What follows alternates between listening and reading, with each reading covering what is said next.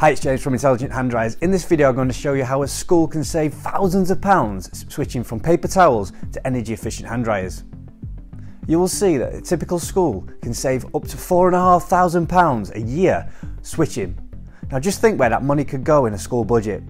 £4,500. We're also going to remind you of the issues paper towels bring to a school. Blocked drains, overflowing waste bins, always having to replenish so staff time, filling empty dispensers. In this example, we're going to use a typical school of around 400 pupils and 40 staff. Now, on the basis that paper towels will cost around 0.6 pence per paper towel, and on average, people will take around three paper towels per dry. Now, we know that's probably not true, as when you're trying to pull out paper towels from a dispenser, there's always five, six, seven towels come out. So these figures are based on conservative estimates. So you can see you're probably going to save even more money in the long run. Based on these figures, uh, this school is going to use around 744,000 paper towels a year. This is going to cost £4,464 a year. That's a hell of a chunk of a school budget.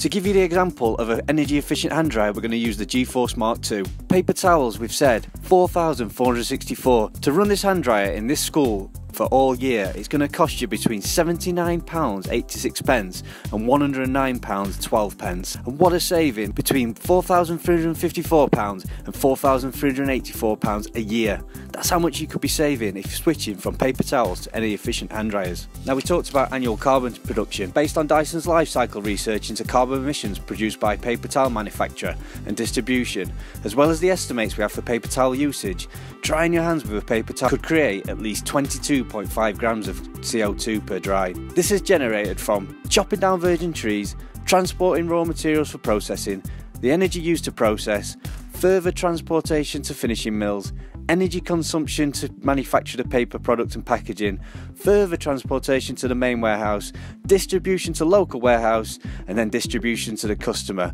And this is all on a constant replenishment cycle. Also, it's noted that paper towels cannot be recycled. They can only be made of previously recycled paper, so they generally end up in landfill.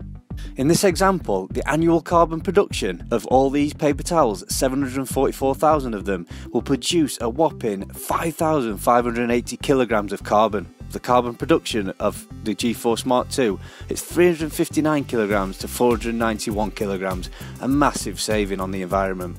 Plus, paper towels don't just hit you in the pocket or affect the environment. Think of all the toilets that get blocked by paper towels, the overflowing bins, the wasted staff time trying to sort this, and the empty dispensers that constantly need replenishing.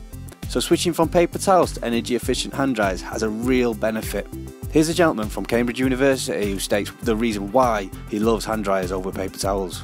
Brinkman, I'm the faculty uh, custodian, Faculty of Classics, Asian and Middle Eastern Studies, both faculties.